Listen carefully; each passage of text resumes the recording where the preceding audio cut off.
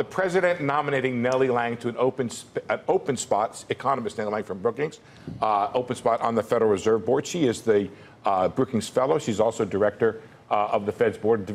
Board, the Fed Board's Division of Financial Stability, created by Bernanke in 2010, instrumental in creating the stress test. University of Maryland PhD in economics. The president once again reaching for the center here when it comes to the. Federal Reserve. Absolutely. Absolutely. And I want to go, guys, skip these probabilities here. I'll come back to that in a second. Let's go to the wall here because I want to show you. I've talked to a senior administration official last night, um, and he talked about the kind of design. The anonymous one?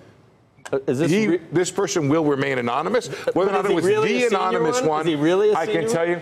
So take a look. Here's the kind of they're designing this thing in what seems to be a pretty well thought out way.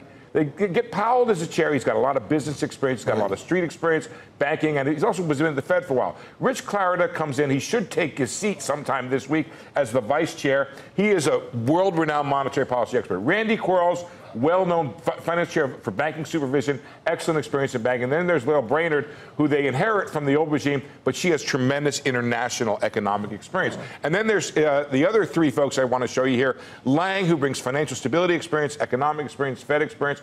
Michelle Bowman, a nominee uh, community banking expert. And Marvin Goodfriend, who's got a hold on the Senate, uh, having some problems there, but he is also a macroeconomic and monetary policy expert. So there's this design around the Federal Reserve Board, which, if all these people come, we'd have a full Fed board for the first time in a very long time. And I want to talk about one more thing. And that's structured pretty good. It, it seems like it, everybody is, is, is happy on all sides here. Maybe not some of the Right. more uh, outspoken Fed critics, maybe not what you might call the Stanford crowd that was more critical. But I just want to engage Santelli very quickly.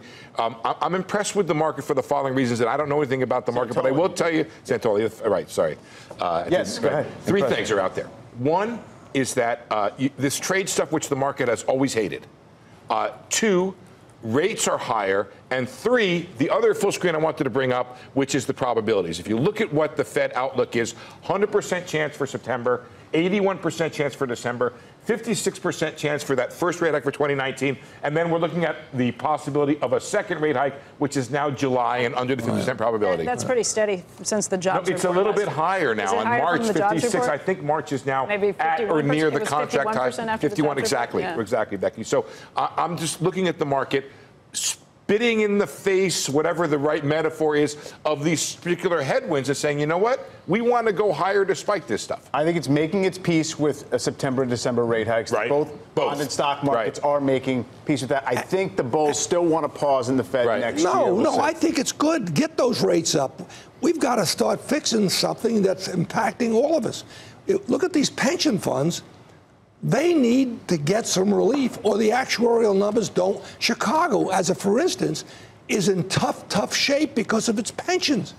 It's going to reach a point. It can't print money like the U.S. government can. And it's not just Chicago. This is a problem that is running through all Look, kinds of these places are- like New uh, Jersey, look, uh, beyond we, And we can handle another 25 and agree, Ken. 25 and 25. I think I think that the economy is that strong, and I think the economy is strong. I handle think underlying growth and a, a higher funds rate is warranted. Right. But there will be adjustment and there will be pain. There are guys who have had their head in the sand about the outlook for rates for quite a while. there's- Emerging market countries among them. Or the